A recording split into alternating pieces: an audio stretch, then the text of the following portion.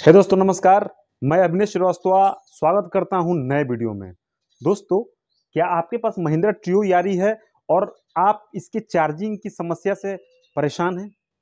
कहने का मतलब ये है कि आप चार्ज करने जा रहे हैं तो सही से चार्ज नहीं हो पा रहा है।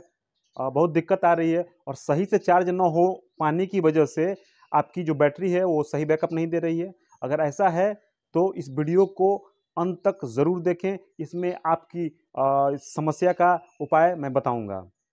और हाँ जैसा कि मैं अपने हर एक वीडियो में बोलता हूँ कि अगर अभी तक आपने हमारे चैनल को सब्सक्राइब नहीं किया है तो कृपया सब्सक्राइब कर ले ताकि जो भी वीडियो डालूं, उसकी नोटिफिकेशन आप तक पहुँचे और आप उसे ज़रूर देख पाएँ। तो चलिए शुरू करते हैं। दोस्तों, अगर आपके पास महिंद्रा ट्रियो यारी है और वो सही से चार्ज नहीं हो पा रही है तो आप परेशान होंगे। ज़ाहिर सी बात है कि सही से चार्ज नहीं होगी तो बैटरी भी सही बैकअप नहीं देगी। तो आपको पाँच चीज़ों का ख्याल रखना होगा जिससे कि ये समस्या नहीं आएगी। तो वो कौन सी बातें हैं जिसका आपको ख्याल रखना है? चलिए आपको बताते हैं। सबसे पहली बात कि जब आप अपने ई रिक्शा को चार्ज करने जाते हैं तो वोल्टेज का ज़रूर पता लगा लें कि वोल्टेज सही है कि नहीं है। क्योंकि पर्याप्त वोल्टेज न मिलने की वजह से ये समस्या आ रही है। बहुत सारे सब्सक्राइबर भाई ने मुझे कमेंट कर, कहा कि सही से चार्ज नहीं हो पा रही है, दिक्कत आ रही है। उसमें प्रमुख है कि इलेक्ट्रिसिटी में सही से वोल्टेज का न होना। अगर वोल्टेज सही नहीं मिलेगा तो आपकी ये ट्रियो यारी सही से चार्ज नहीं हो पाएगी। इसलिए कृपया वोल्टेज की जाँच ज़रूर कर लें। दूसरी बात, जब कभी आप अपने महिंद्रा ट्रियो यारी को चार्ज करने जाएँ तो आपको अपने डिस्प्ले को ऑन करके देखना है। उसमें अगर ये सिंबल आ रहा है बिना उसको ठीक किए हुए आपको चार्जर कनेक्ट नहीं करना है। तो चलिए आपको दिखाते हैं। सबसे पहले इग्निशन ऑन कर दिया। तो यहाँ देखिए, ये दिख रहा है सिंबल इसी सिंबल को हमें पहले हटाना होगा, उसके बाद ही चार्जर कनेक्ट करना है। तो हटाने के लिए क्या करना होगा? चलिए आपको अब बताते हैं। सबसे पहले पीछे वाली बैटरी, जो छोटी वाली बैटरी होती है, उसके आपको ये दोनों पॉइंट्स निकाल देने हैं, जो कनेक्टर है उसके। इसको निकाल के उंगली से अच्छे से रगड़ के साफ़ करना है। दोनों को साफ़ कर लिया फिर जैसे कनेक्ट किया था उसे कनेक्ट कर देना है दोनों कनेक्टर को अच्छे से। कनेक्ट करके ठीक से बिल्कुल ये कनेक्ट करना है ताकि कनेक्ट हो जाए। और कनेक्ट करने के बाद देखिए आप अ, आपको दिखाते हैं। ये जो सिंबल है अब नहीं दिखाई देगा। देखिए यहाँ अब जो सिंबल है वो नहीं दिख रहा है जो पहले दिख रहा था। तो अभी देखा आपने कि अब उस पर वो सिंबल नहीं आ रहा है तो अब आप चार्जर कनेक्ट कर सकते हैं और पावर सप्लाई कर सकते हैं। तीसरी बात, जब आप चार्जर कनेक्ट करने जाएँ तो इस बात का ध्यान रखें कि चार्जर सही से कनेक्ट हुआ है कि नहीं। अब इसकी पहचान कैसे होगी कि चार्जर कनेक्ट हुआ है कि नहीं? तो जैसा कि मैं आपको दिखाता हूँ।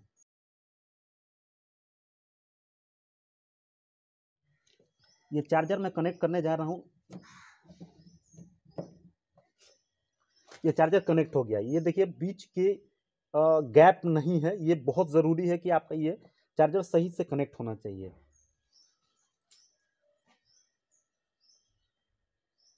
आपका चार्जर सही से कनेक्ट हुआ है कि नहीं, इस बात का पता आपको एक और चीज़ से चलता है कि जब आप कनेक्ट करते हैं तो डिस्प्ले में कुछ सेकंड के लिए वो चार्जिंग सिंबल आ जाता है और साथ ही साथ खट से एक आवाज़ हल्की सी आती है। एकदम बिल्कुल हल्की सी, आपको ध्यान से सुनना होगा। वो खट की आवाज़ आए तो आप समझें कि आपका जो चार्जर है वो सही से कनेक्ट हो गया है। तो अब आपको पावर सप्लाई जारी कर देनी है और चार्जिंग शुरू हो जाएगा। डिस्प्ले में आपको देख लेना है कि वो जो चार्जिंग इंडिकेटर है वो ब्लिंक कर रहा है कि नहीं। चौथी बात, जब आप चार्जर कनेक्ट कर दिए, पावर सप्लाई कर दिए और चार्ज होना शुरू हो गया है तो 10 15 20 मिनट बाद आप एक बार डिस्प्ले ऑन करके देख लें कि कुछ किलोमीटर्स बढ़े हैं कि नहीं? यानी कुछ चार्ज हुआ है कि नहीं बैटरी आपकी? अगर नहीं हुआ है तो कहीं ना कहीं कोई प्रॉब्लम आ रही है, इसी वजह से आपकी चार्जिंग नहीं बढ़ रही है, किलोमीटर्स नहीं बढ़ रहे हैं तो इसको आपको चेक कर लेना है। पांचवी बात, जब आप चार्जिंग स्टार्ट कर चुके हैं तो साथ ही साथ आपको डिस्प्ले में चार्जिंग इंडिकेटर दिख रहा होगा ब्लिंक करते हुए। वो यहाँ गौर करने वाली बात यह है कि उसके साथ अन्य कोई इंडिकेटर तो नहीं आ रहा है डिस्प्ले में उसको भी ज़रूर देखें। अगर अन्य कोई इंडिकेटर आ रहा है तो आपको उस पर गौर करना है और इस पर मैंने अलग से वीडियो बना रखी है कि ये चार्जिंग इंडिकेटर के अलावा अन्य जो इंडिकेटर आते हैं डिस्प्ले में, उसका क्या मतलब है और क्या प्रॉब्लम है, सारा डिटेल्स उस वीडियो में है तो आप उसे जाके देख सकते हैं कि वो प्रॉब्लम कौन सी है। तो इन पाँचों बातों का अगर आप ख्याल रखेंगे तो आपकी जो ई रिक्शा है वो सही से चार्ज होगी। इन पाँचों बातों का ख्याल रखने के बावजूद भी अगर आपकी ई रिक्शा चार्ज नहीं हो रही है तो आपको सर्विस सेंटर पे जाके एक बार चेक करवा लेना चाहिए कि कहीं अन्य कोई प्रॉब्लम तो नहीं है। लेकिन बेसिक यही पाँच चीज़ें हैं जिसको आपको ध्यान रखना है। अगर इसे ध्यान रखेंगे तो चार्जिंग की प्रॉब्लम नहीं आनी चाहिए।